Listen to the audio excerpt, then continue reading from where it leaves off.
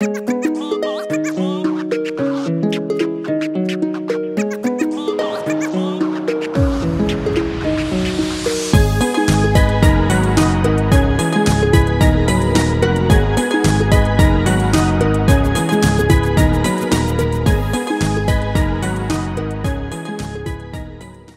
Friends എല്ലാവർക്കും ഒരിക്കൽ കൂടി എന്റെ ചാനലിലേക്ക് സ്വാഗതം.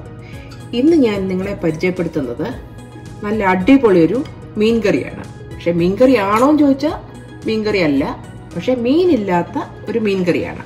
പക്ഷെ എന്ത് ഐറ്റം വെച്ചാണ് ഞാനത് ഉണ്ടാക്കിയതെന്നാണ് ഇന്ന് ഞാൻ നിങ്ങൾക്ക് കാണിച്ചു തരുന്നത്. സാധാരണ നോയമ്പ് സമയത്ത് വെജിറ്റബിൾസ് വെച്ച് നമ്മളിങ്ങനെ മീനില്ലാത്ത മീൻകറി ഉണ്ടാക്കാറുണ്ട്.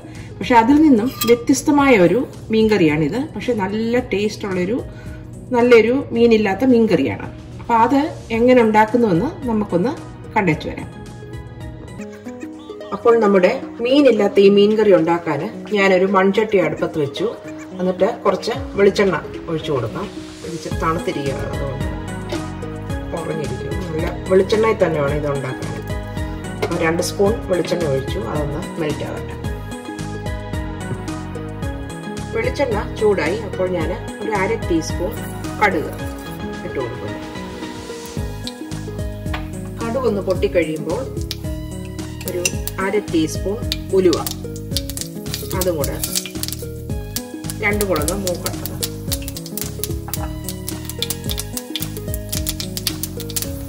അപ്പോൾ കടുവും ഉലുവയും നല്ല മൂത്ത് കഴിഞ്ഞു.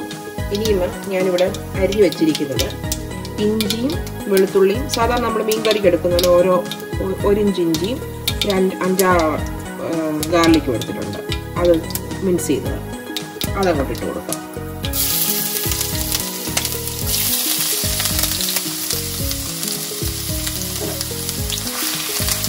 ഇതൊന്ന് നോക്കട്ടെ ഇഞ്ചിയും വെളുത്തുള്ളിയും ഇട്ട് കൊടുത്തു.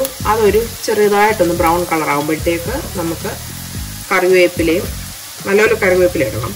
കറിവേപ്പിലയും കുറച്ച് ഉള്ളിയും കൂടെ ഇട്ട് ഒന്നൊരു ബ്രൗണിഷ് കളർ വരെ വഴറ്റിയെടുക്കണം.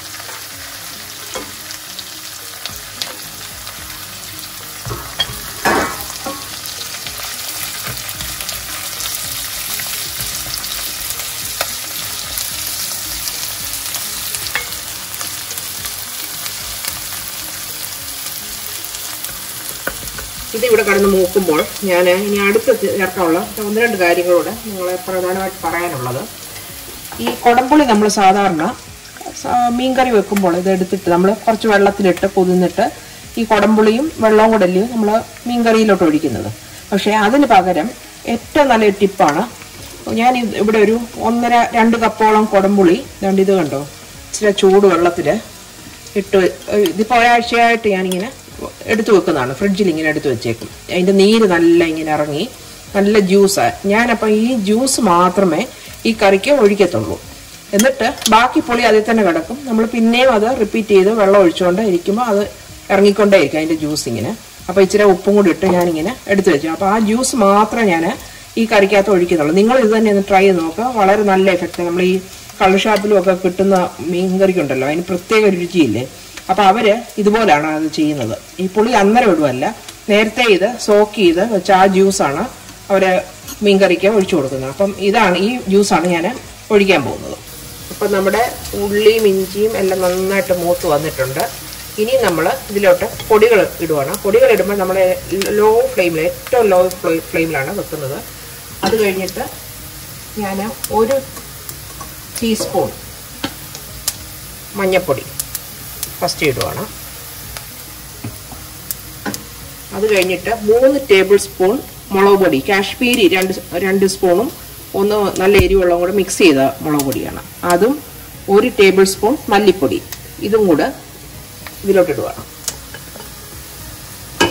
എന്നിട്ട് ഇതിന്റെ റോ മണോ മാറുന്നിടം വരെ ഇങ്ങനെ ചെറുതായിട്ടൊന്ന് ഈ എണ്ണയ്ക്കകത്തൊന്ന് മൂപ്പിച്ചു കൊടുക്കണം. ഇതൊന്ന് മൂത്ത് വരുമ്പോൾ നമുക്ക് ആ പുളിയുടെ ജ്യൂസ് ഇല്ലേ അത് കുറച്ച്. അത് ഓരോരുത്തരുടെ ടേസ്റ്റ് അനുസരിച്ച് പുളിയുടെ ഇത് എത്ര വേണമെന്ന് വെച്ചാൽ അതനുസരിച്ച് കൂട്ടി കൊടുക്കാം. അപ്പം ഞാൻ എന്റെ എനിക്ക് എത്രയും വേണം അതനുസരിച്ച് ജ്യൂസ് ഒഴിച്ച് കൊടുക്കും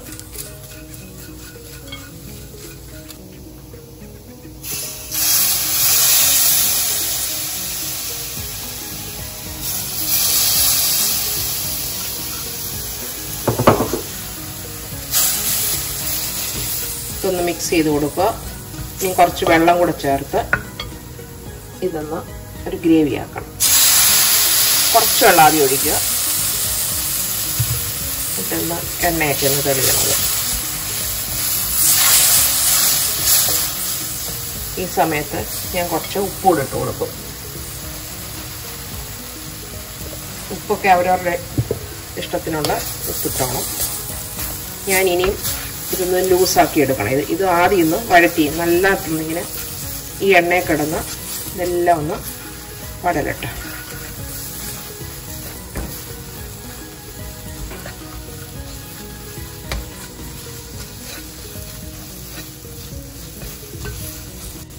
ഞാൻ ഇനി കുറച്ച് വെള്ളം ഒഴിച്ച് ഇതിനെ ഒന്ന് ലൂസ് ചെയ്യുക.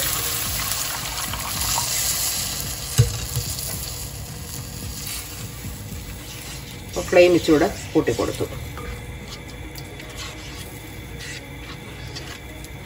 ഈ സമയത്ത് പുളി ഉണ്ടോ എന്ന് നമ്മളൊന്ന് ടേസ്റ്റ് ചെയ്ത് നോക്കിയിട്ട് പുളി ആവശ്യമുണ്ടെങ്കിൽ ആ ജ്യൂസിൽ കുറച്ചുകൂടെ ഒഴിച്ചു കൊടുക്കണം. ഉപ്പും പുളിയും ഈ സമയത്ത് നോക്കണം.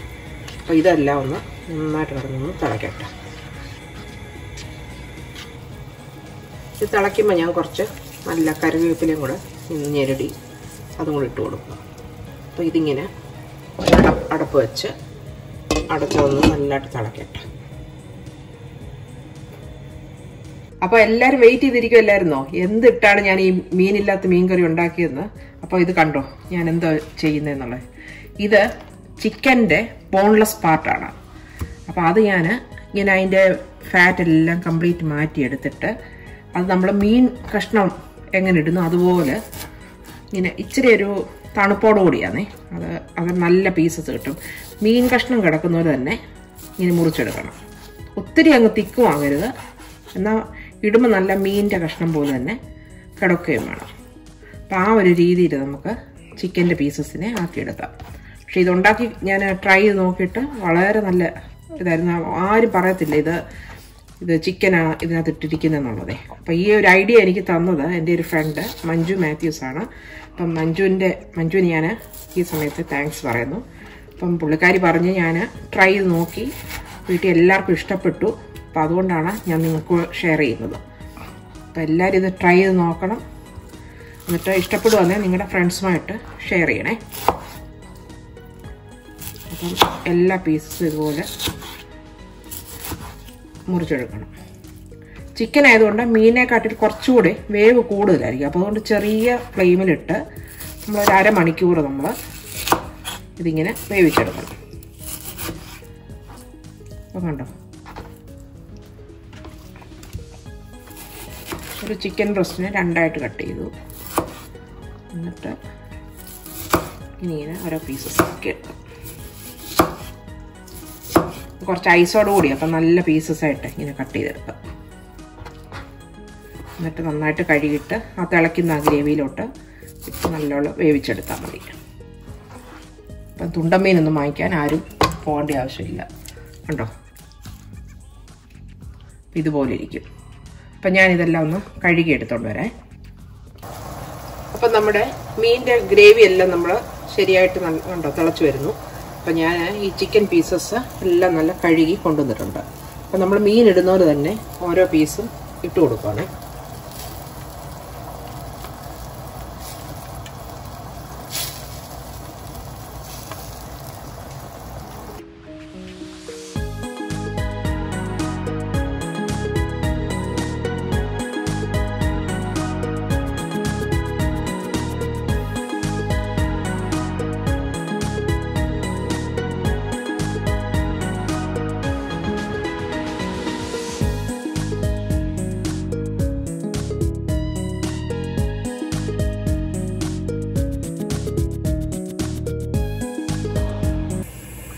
അങ്ങനെ നമ്മുടെ സ്വാദിഷ്ടമായ മീൻകറി ഇവിടെ റെഡിയായി കഴിഞ്ഞു. ഞാൻ ഒരു ഹാഫ് ആൻ അവറോളം ഞാൻ ചെറിയ തീയിലിട്ട് വേവിച്ചെടുത്തു. അപ്പോൾ ഒരു സെമി ഗ്രേവി ആയിട്ടാണ് ഞാൻ എടുത്തേക്കുന്നത്.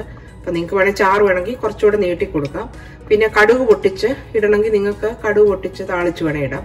പക്ഷെ ഞാൻ ആദ്യമേ കടുക് പൊട്ടിച്ച് ഇത് ചെയ്തതുകൊണ്ട് അങ്ങനെ ഞാൻ ചെയ്യുന്നില്ല. ഞാൻ ലാസ്റ്റിൽ ഇടിച്ചിട്ട് പച്ചവെളിച്ചെണ്ണയും കൂടെ ഒഴിച്ചു കൊടുത്തിട്ടുണ്ട്.